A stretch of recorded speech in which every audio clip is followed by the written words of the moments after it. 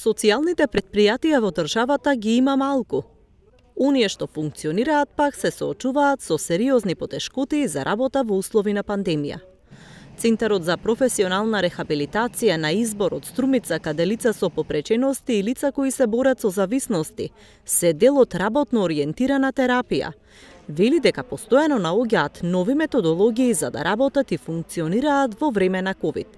За Сократ Манчев, кој го раководи овој центар, Тоа е предизвик и ново искуство кое на еден начин и им ги зајакнало капацитетите. За сите е тешко, не е само за нас.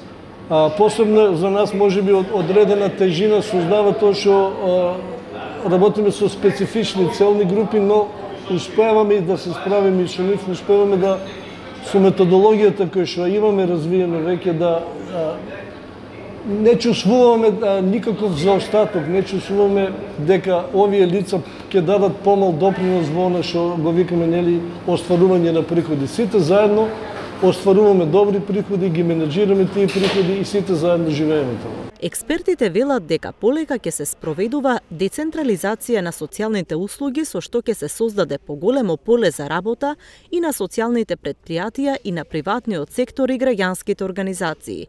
Според нив, социјалната политика на општините треба да се развива и креира онака како што налагаат потребите на даден плански регион. За потребите на општините ангажирани од општините, тие работи ќе ги врши приватниот сектор и невладениот сектор. Во дел од социјалните услуги многу посоодветен е невладиниот сектор, како на пример заштита и изгрижување на жртвите на семено насилство, помош и нега во домот, лична асистенција и така натаму.